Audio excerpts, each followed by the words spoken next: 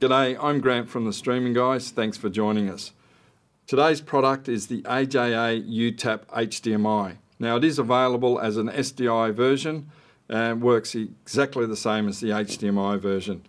USB 3 into your laptop can be PC or Mac and it will work with any software that you want to use such as Wirecast, Livestream Studio, vMix, Skype, Zoom and any other software package.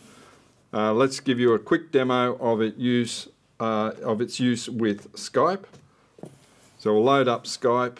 I go into settings, choose the device, and then let's give someone a call and you'll see that it has appeared as the video feed. No one home. That's the AJA UTAP HDMI or SDI version.